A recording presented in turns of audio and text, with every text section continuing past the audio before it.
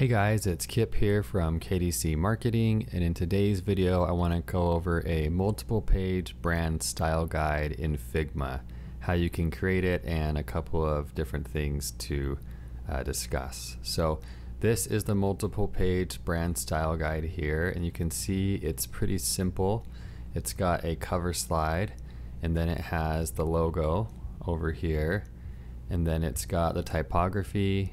So, there's two fonts and then it's got brand colors. So those are here with the hex codes and then the accent colors and then some examples of how the colors and uh, typography and different things should be used. So here's the company website some social media images and some merchandise. So this is a brand style guide that we created for a client and I've done other brand style guide videos here on YouTube but I wanted to show uh, how you can create this uh, multiple page brand style guide in case you need something a little more complex. So I'm going to go ahead and preview these uh, pages here just so you can see it more in a slideshow.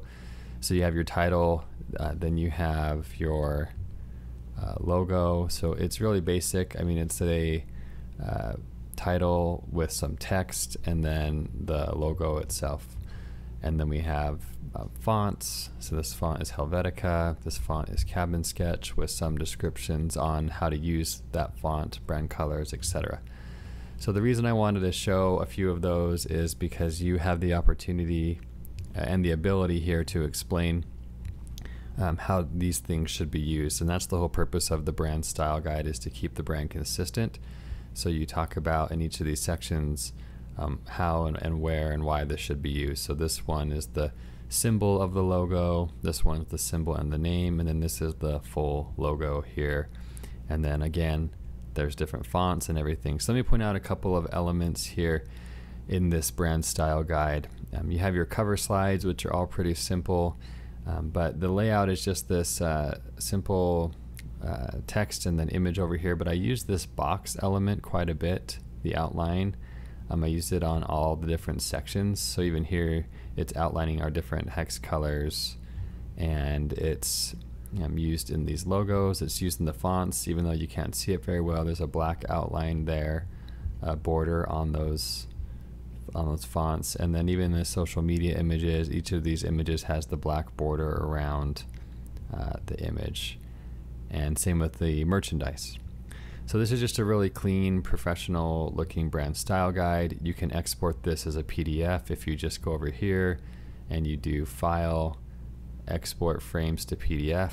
It'll pull up. And I can pull this up as a PDF document and I can send this to my client and then they can use this uh, to make sure that their brand stays consistent. So, and this looks great and I'm really happy with how this turned out. So uh, in this file here, I've got my brand style guide with components, and then I have my brand style guide without components. So what that means is the these components are what drive the actual uh, brand style guide. So I have components for some of the most important elements like the logos here, and these are all labeled by sections in Figma, the text elements, so the main slide text, the typography and title text, section title, cover. This is the footer text here that you see right here that says cover or on the actual brand style guide it switches based on the section like the logo, cover, typography, etc. But these components here make up the different slides and then I have a brand style guide with the components here so you can kind of uh, see what it would look like if you're using the components or if you don't want to use the components you don't have to. So let me show you what I mean by that. Let me create a new page. So if you use the components then it's going to allow you to work faster. So I'm going to go to my assets here and then now you see all these components enabled uh, as part of the uh, it's part of the canvas or it's part of the elements that I can use for my canvas. So I have my logos, I have my color palettes, I have my mockups, I have my uh, shapes. So these were those different shapes I was talking about. I have my slides. So these are full slides.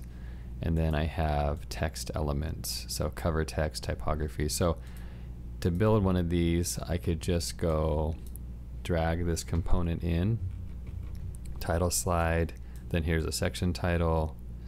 And so within a few seconds, I can build out my my slide here, my uh, style guide.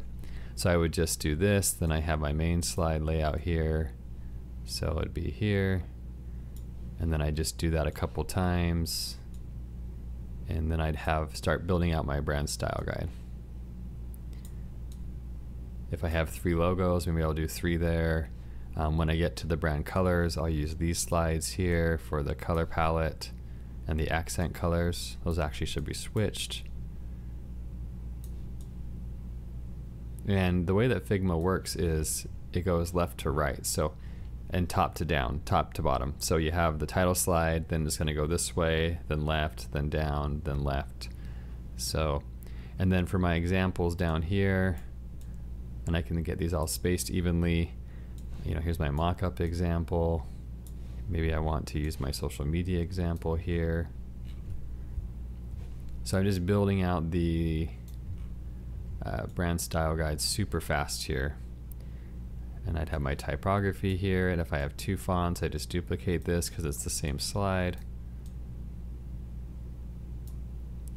So within a matter of a few minutes, I'm able to build out my entire brand style guide, and then all I have to change is I can either detach these components, detach this instance from the components, and then change it here, or I can go into the components themselves and change it. So for example, if I wanted to do that, maybe on my main title slide, I actually want this color to be, let's change it here to a green.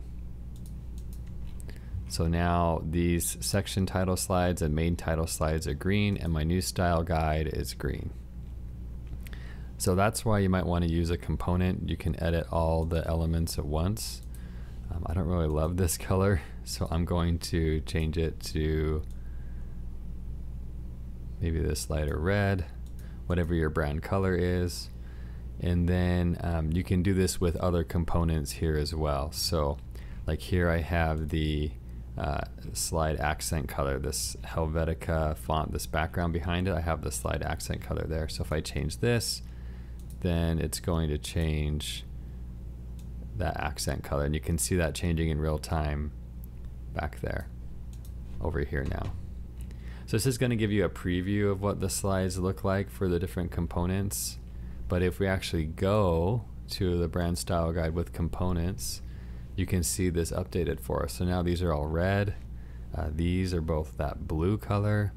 Um, but my brand style guide without components is not affected because it's not using uh, the components that uh, are in the, this components section. So I wanted to create both so you have both options here. And so I'm going to make a, a file that's similar to this that you can use for your own um, brand style guide. If you want to download this, uh, this Figma file, then you can go in and you'll have all access to these components, these slides, and uh, you also have access to the style guide without components. So just wanted to show this. I think it looks really professional. You can always add or remove sections as you need them.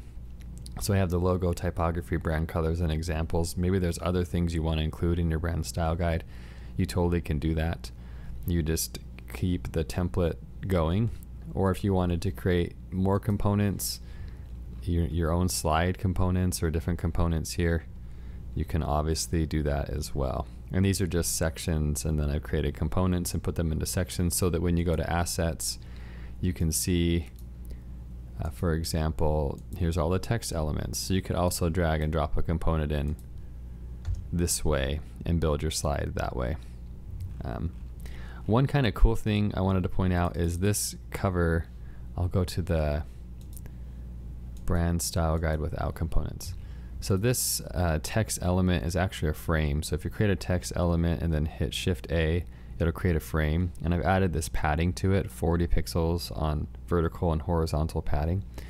So it actually you can it bumps right here to the bottom. So let me show you what I mean. If I were to move this to the right that padding stays intact so it doesn't go all the way over to the right. So to get it down there in the left corner you just put left and down and it will go in that bottom left corner. I think that's really cool. Gives you that padding there automatically um, and then these other things are pretty simple. These are just a, a frame again. So these two text elements and then shift A and then adding in a couple of, of things here. So I hope that helps. Uh, I'm excited to use this brand style guide for uh, future clients. Like I said, I've already created this for one client um, and I'm excited to, to do it for some others. I do have the uh, brand a brand style guide, another example of one that I've created here so you can see what it might look like. So here's another one that's just a, this is just a, a, a fake brand that I'm, I, I, created. But you can see what it looks like with different color palettes and text and I haven't updated this all the way. You can see these slides still aren't updated, but the, so that's the old one. This is the new one. And so it looks really nice. This one, they don't have as many logo options. They only have one text option. So uh, and again, this is just a fake brand and the color palettes and which one's the, the primary accent color. I need to update a few things. So I've got the purple as the primary accent color here and then create some examples. So I was close to getting this one finished.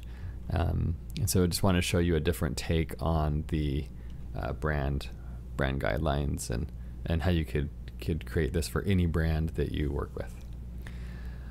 All right, well, I hope that helps. And like I said, there'll be a link in the description of this video where you can download this file for free and um, then you can start using it. So that's what I have for today, and I will see you in the next video.